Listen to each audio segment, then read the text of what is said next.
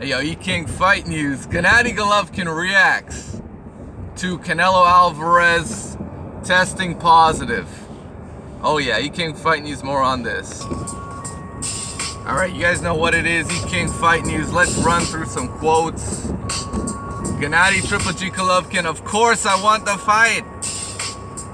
Max, you know, I want the fight, you know? Canelo, he tests positive. Ah, man. I had to do it. I had to do it. He wasn't pleased about learning that Canelo was on something. I know Canelo, he doesn't need medicines or drugs or like that. You know, I just want to be the number one Mexican. And we have to keep the sport fair play. Man, I had, I had. Okay, so Abel Sanchez, of course, chimed in. Canelo's trainer, Chepo Reynoso, used to be a butcher. He was in the meat business. He should know which meats to avoid because of this problem in Mexico. I don't want to talk about much about it because if it's positive, it's a performance enhancing drug for him. It's outrageous, Golovkin said. But my hope is to ensure all parties involved will cooperate in the investigation and make some more efforts to ensure boxing is clean. That's what I'm for, clean boxing. Man, Gennady Golovkin, man, he keeping it real clean when it comes to boxing. And you know who else had, uh, you know what? Abel Sanchez really went in on the situation. Abel Sanchez went in because he was like, you know what? And shout out to Golovkin's trainer, Abel Sanchez, who also had to say that black fighters don't sell, but that's a whole nother issue. That's a whole nother issue. Because Abel Sanchez is talking about, you know, Canelo, his trainer's a butcher. He should know this shit.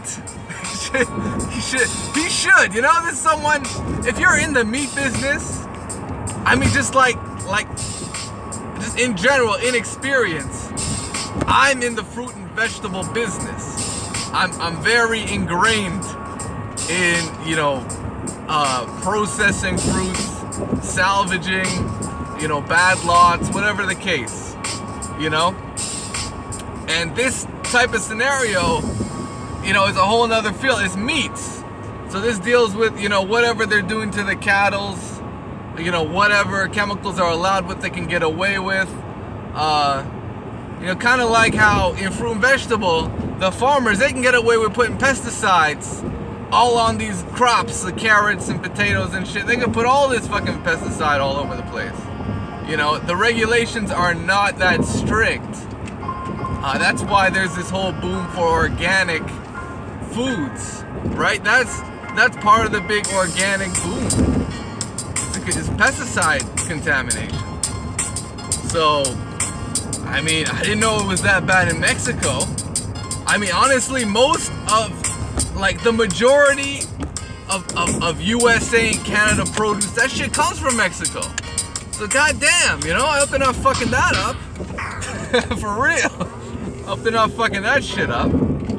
But yeah, man, Canelo Alvarez, he's he's got he's got to get it together, man. Hopefully, like, what can he really do about it, man?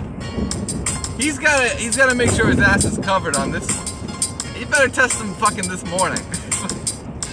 Clenbuterol twice. Man, it couldn't just be one test. He tested positive twice in two days. Twice in two days. And you know what? They still haven't released the concentration levels. They keeping that shit secret, man. For real. How you gonna keep that shit secret? And you just gotta you gotta trust that dude that did the test. He's like, you know what? These levels, it's, it's in range for me contaminate. It's in range, man. Man, we ain't gonna buy that bullshit, man. Fucking L's on something. He's on. He's gotta be on something. You see the way, man. I don't know, man. You guys, let me know what you think. Gennady Golovkin. That, that's his. That's his reaction to uh, Canelo Alvarez. You know, he also said it's terrible for the sport. You know, it's just, it's not right, man.